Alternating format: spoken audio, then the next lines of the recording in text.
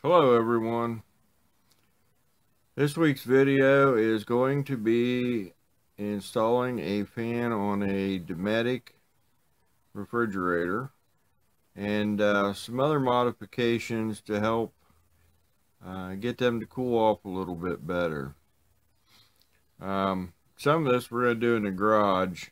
Uh, I There's three different ways that you can install these fans and I'm going with the most preferred way that people do it. And I'm going to actually put mine on the back of the upper vent. So I'm going to show you how I am going to put it all together and all the parts of the kit and everything. Okay so this is what the kit comes with. You get the fan.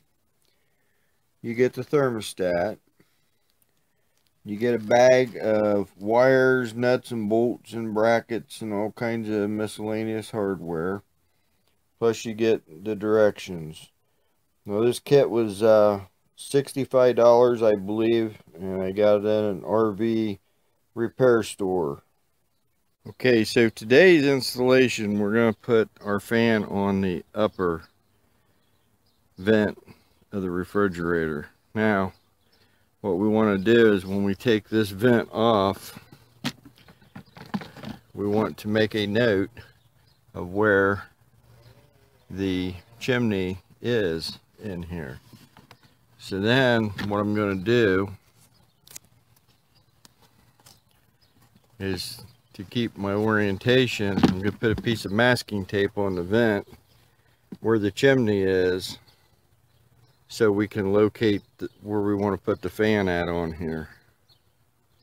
Okay, so we're back in the garage. We've got the vent, and this is actually the inside of the vent. Up there's our masking tape. So we know the chimney is on this side. So we want to place the fan on this side. So what we're going to do is we're going to line it up on the fins or on the vent things and that right there is where we're going to put it. So now I'm going to drill a hole here I'm going to drill a hole here because I'm going to bolt this to the vent. Okay so we have the holes drilled in the in the vent. I also drilled one right here we're gonna you're gonna see what I'm gonna do with this one here after a bit. So now the next step is to put the fan on the vent. Okay, so the next thing I did is I put the screws through from the underside to the screws. And then I also put clear silicone right there. Now this will help hold the fan and keep the vibration down. So now we're going to put the fan on, but you want to make sure of which direction this fan has to turn for the air to go out. I hooked it up to a 12 volt battery and put a mark on the side so that I know that the air comes out this side of the fan.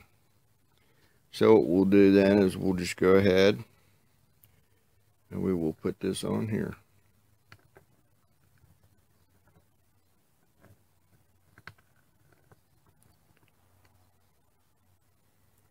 Okay, and then we'll go ahead and we'll top it off with some nuts and some flat washers on the top here. And we'll go to the next step. If you look up in here, you can see the fan up in there. Now I painted the heads of my two screws and the washers black so that they kind of blend in up there. We tightened up the nuts on both sides and I also put silicone on them to help hold them so they don't vibrate loose. And also, at the bottom, I did not put screws in. I did, however, put a bead of silicone to help kind of glue it onto the vent. And that will help with vibrations also. So following the directions on how to wire this up, we have the wiring completed. I use zip ties to help hold it onto the vent cover. That other hole that we drilled over here is where the thermostat goes. And it's just kind of hanging out here in the air. And that's what senses the temperature to turn the fan on. Now, the only thing we need to do is we need to test this to make sure that it works correctly. So I have it hooked up to a battery. And since I don't have the refrigerator in here, we're going to stimulate it with the hair dryer.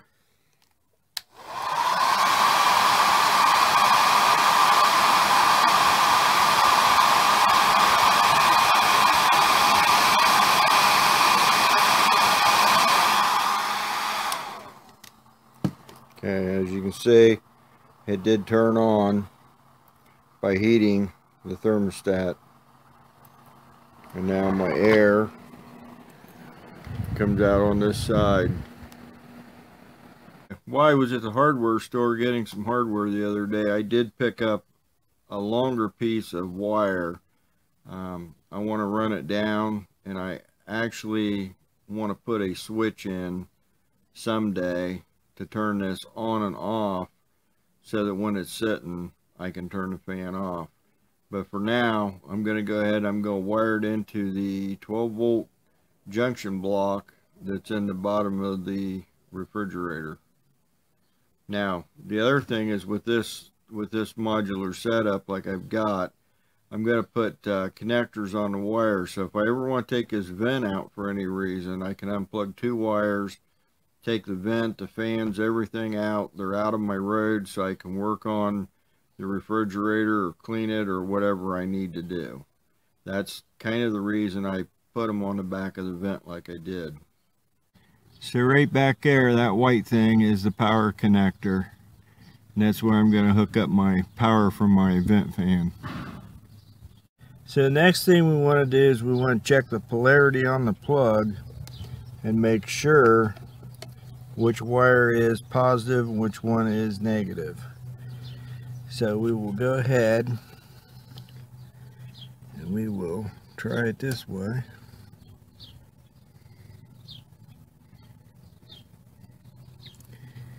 And that shows a negative 13 volts. That the black is actually the positive on this. So we have the block put back in. We have our pigtail on it. Now we're just going to check to verify the polarity is correct and we do have voltage coming out of the pigtail. Okay, so we've got our vent fan all put together and all we have to do is to put it in and plug it into the pigtail and then it is ready to run. Now there's two other things that will help make these refrigerators work a little bit better. And we'll go ahead and we'll go out and I'll show you a couple more of them. So what we need to do is our fan will be in this area here so it will pull the air out. However, where the problem is, is this space between here and here. Now what will happen is air when it flows takes the path of least resistance. So our main objective is we need to cool this. So the first thing that we need to make sure of is we need to make sure that everything is sealed up good inside the refrigerator compartment here in the back.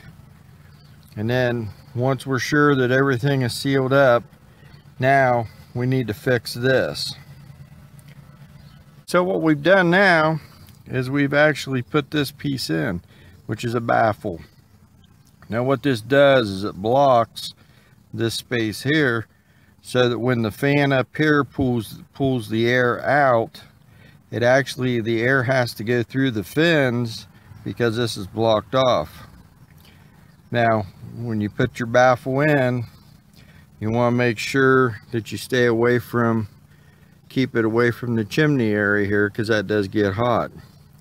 But basically, you want to fill the space in between this coil and the side of the camper so the air has to go through the coil to come out and that will help cool this coil which that is our main objective with this fan now I took the baffle back out the third thing that we want to talk about is we have our baffle in we have this all sealed up good and we have our fan the next thing that we need to make sure of is that this is clean cobwebs in this refrigerator will definitely mess it up. And the reason it messes it up is the cobweb will change the airflow. So through this coil and all the coils down through, you need to make sure that you keep it swept out and keep it keep it clean.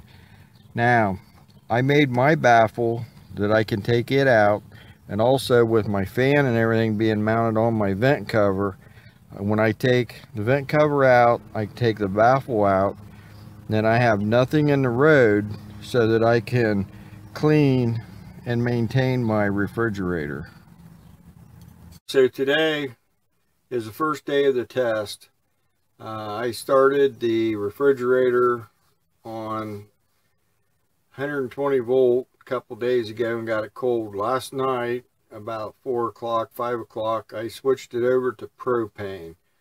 So it's went pretty much 24 hours on propane. This is day one with the stock camper.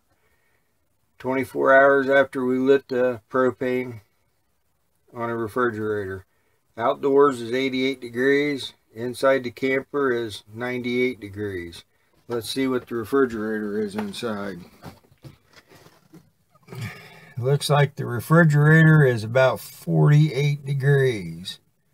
Today is the second day. Yesterday after I took all the uh, readings on all the temperatures, I installed the baffle and I hooked up the fan so it would run. So we've went 24 hours with the uh, baffle in and the fan running. So let's take a look and see if it did make a difference or not. Today the outside temperature is 89. The camper inside temperature is 97. Now let's take a look at the refrigerator and see what it is. It looks like it is about 40 degrees today. It definitely feels cooler in here. Today is day three. I thought I'd try something a little different with this test and see what happens. Um, we checked our temperatures yesterday and then after that I turned the AC on and left it run all night to uh, try to keep the camper cool and it did. So let's take a look and see if that uh, helped our temperatures any. So today it is 87 degrees outside. And it's 71 degrees inside the camper. That's with the AC going. Now let's take a look at the refrigerator. Inside the refrigerator it looks like it's about 34 degrees and um, it's actually cold in here so there you have it. Installing the fan, some modifications, some maintenance, and uh, some testing. Um, I hope this helps you out. Uh, my opinion is, does it make a difference? Yes, I think putting a fan in does make a difference. Um, I think both modifications that I did did make a difference as far as it cooling better. The only thing you need to remember is the fan that you're using to cool the refrigerator runs off the 12 volt battery. So if you're boondocking, that fan's going to be pulling um, power out of your battery. So it's just something you want to think about. I hope you liked the video. I hope it helps you out. Thanks for watching and please subscribe.